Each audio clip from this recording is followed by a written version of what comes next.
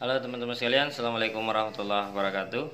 Berjumpa kembali ya bersama kami di channel yang membahas tentang dunia perbengkelan Tas listrik, cat ulan, atau repair Oke baik, di video kita kali ini kita akan melakukan pemasangan uh, seal ya Pada sok depan motor Jupiter MX ya. Nah, jadi seal lamanya sudah kita bongkar ya teman-teman.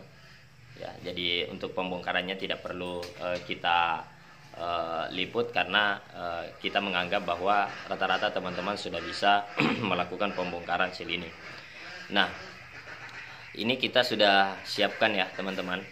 Ya, ini ini sudah kita siapkan sil yang baru dan kita menggunakan produk yang uh, original ya. Nah, sebelum kita melakukan pemasangan ya perlu uh, barangkali kita uh, mentransferkan uh, informasi kepada teman-teman supaya dalam pengerjaan atau penggantian seal ini eh, teman-teman uh, tidak bakalan keliru ya. Nah, baik. Sebelum melakukan uh, pemasangan atau penggantian seal ini, yang perlu teman-teman pahami adalah bahwa kedua sisi ya, kedua sisi daripada seal ini ternyata berbeda. Nah, kalau kita melihat secara sepintas ya, Eh, kedua sisinya ini sama-sama saja teman-teman. Nah, yang menjadi kekeliruan dalam pemasangan sering kali terjadi uh, pemasangan yang terbalik. Akhirnya apa yang terjadi ketika pemasangan seal ini uh, dalam keadaan terbalik, maka yang terjadi adalah tetap apa namanya? kondisi sok ini tetap mengalami kebocoran meskipun seal yang kita pasang ini adalah seal yang baru, teman-teman. Jadi terkadang kita uh, apa namanya melakukan servis uh, suspensi di bengkel-bengkel yang ada di sekitaran kita. Kemudian setelah kita selesai pengerjaan, kita melihat bahwa ternyata tetap terjadi sebuah kebocoran pada suspensi itu. Nah, kita beranggapan, sering beranggapan bahwa yang bermasalah itu adalah soknya, yang bermasalah itu adalah bambunya misalnya. Ternyata yang keliru pemasangan terdapat pada seal uh, soknya ini teman-teman. Nah oke okay, baik. Supaya kita tidak keliru dalam pemasangan ini maka teman-teman harus perhatikan sisi ya. Perhatikan sisi yang ada pada uh, kedua sisi daripada uh, seal ini.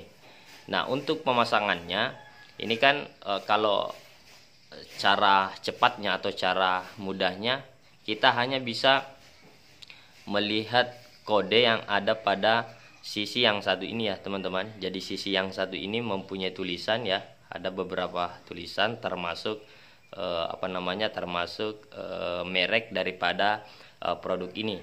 Nah kalau kita balik seperti ini maka dia akan kosong teman-teman. Dia tidak mempunyai tulisan sama sekali. Nah ini menandakan bahwa yang kosong ini yang tanpa tulisan ini menghadap ke bawah seperti ini ya jadi kita contohkan seperti ini. Jadi anggaplah misalnya ini adalah bambu ya. Bambunya yang akan kita pasang maka tulisan ini akan menghadap menghadap ke atas seperti ini teman-teman ya. Jadi menghadap seperti itu. Nah kapan teman-teman melakukan pemasangan terbalik seperti ini? Nah maka konsekuensinya adalah eh, sok pada saat selesai pemasangan masih akan terus keluar oli. Masih eh, terdapat kebocoran pada uh, apa namanya uh, sok ini ya teman-teman. Jadi begitu ya langsung saja kita lakukan uh, pemasangan teman-teman. Simak terus videonya sampai selesai. Oke jadi langsung saja ya teman-teman. Kita lakukan pemasangan seal soknya. Jadi untuk lebih memudahkan kita oleskan terlebih dahulu sedikit pelumas kemudian kita perhatikan ya kita perhatikan tulisan yang ada di sini. Dan di sini tidak ada teman. Berarti dia menghadap seperti ini ya. Langsung saja. Kita paskan seperti ini. Setelah itu kita ambil yang seal lamanya ya. Kemudian kita letakkan di atas Nah, supaya dia bersamaan turun, kita lapisi kunci atau apa pun itu sebagai landasannya. kemudian kita langsung pukul seperti ini.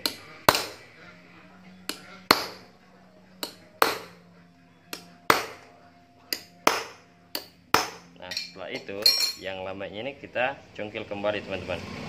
Seperti ini ya.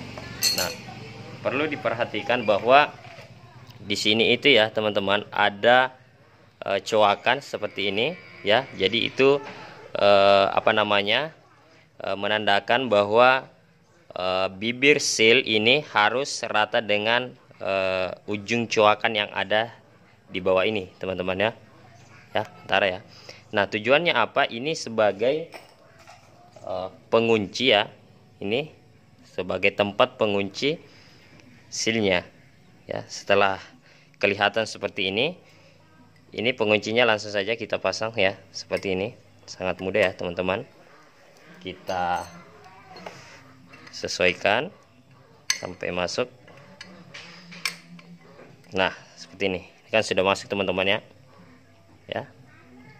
Nah setelah masuk seperti itu kita langsung pasang seal debunya. Debunya ini ya. Kita bersihkan dulu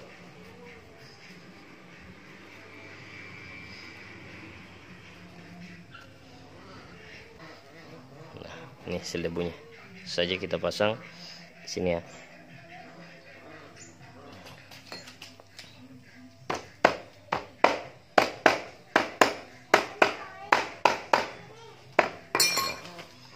Pemasangannya pemasangan selnya sudah selesai ya teman-teman. Seperti inilah. Tinggal kita uh, melakukan perakitan ya. Oke sampai di sini dulu ya teman-teman perjumpaan kita. Semoga bisa menjadi referensi bagi teman-teman. Mohon maaf bila terdapat sebuah kekeliruan. Wassalamualaikum warahmatullahi wabarakatuh.